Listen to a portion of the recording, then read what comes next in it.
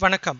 This is Salem Sundar wholeheartedly welcomes you to the journal entries, an especially exclusive video for my accountancy students.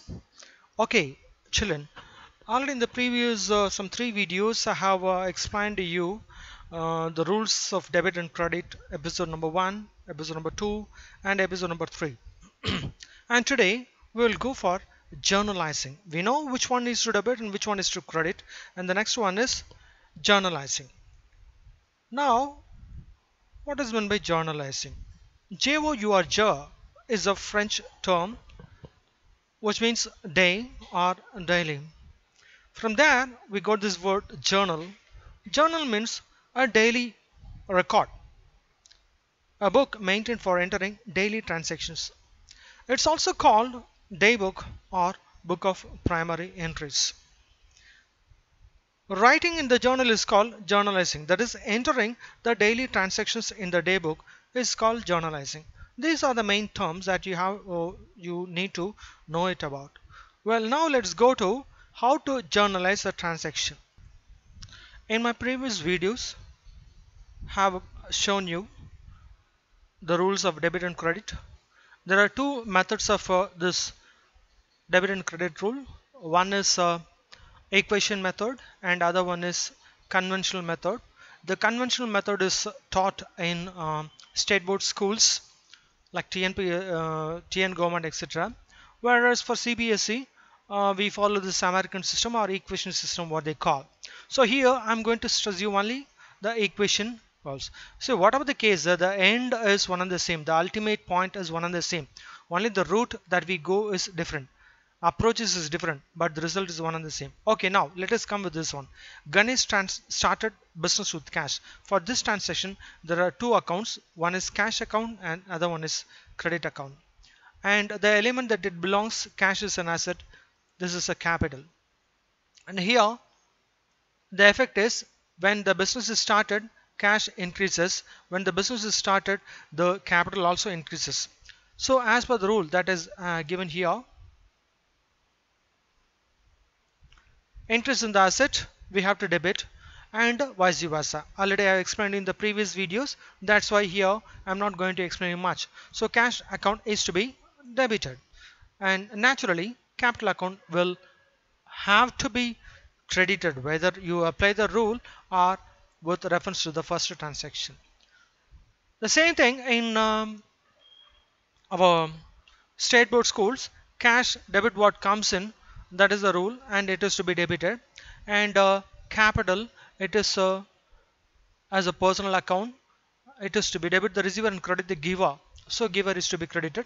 This what they teach in uh, state board schools but in CBSE this is the thing. Fine now let us come. So there are two transactions uh, two accounts or one is to be debited and other one is to be credited. So this is uh, say let us have 60,000 rupees is a capital now how to journalize it? Let us see. So this is the book. Hope you might have seen your accountancy book. The columns will be like that. There are several vertical columns. This is provided for date and this is provided for particulars and this is for LF and this is for debit rupees and this is for provided for credit. This will be. Now we have to give the heading as journal entries in the books of Ganesh. Fine. First one, 1 for 20. Ganesh started business with a cash by 60,000. Cash is to be debited. This is the first point. So what do you do? Write the date to 1 for 20. Cash account. In the end, you must write debtor. D-E-B-T-O-R. You have to pronounce as debtor. Please don't pronounce debtor. It is wrong. Debtor. In the LF now there is nothing to write. LF means ledger folio. Folio means page. We have to enter the uh, ledger folio number here. That will that is a later part. Now no need to do anything in this column. Now here debit 60,000 and uh, next uh,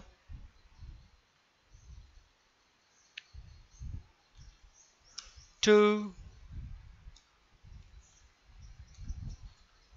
capital account.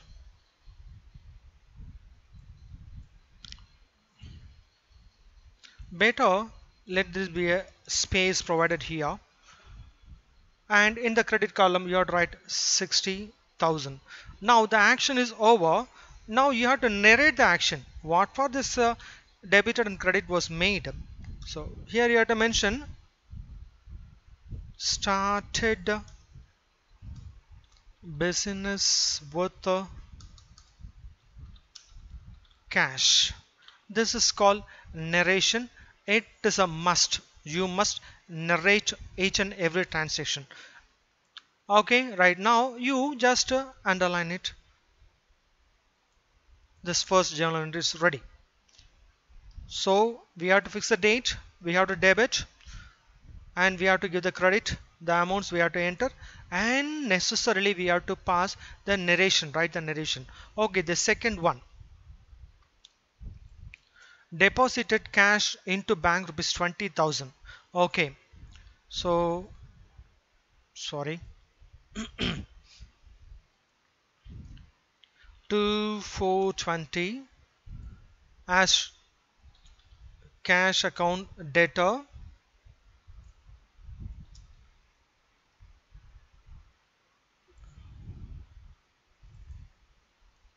to cap sorry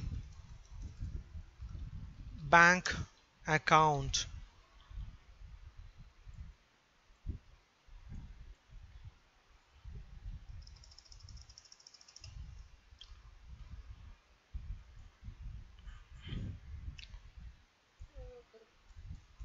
Twenty thousand and twenty thousand.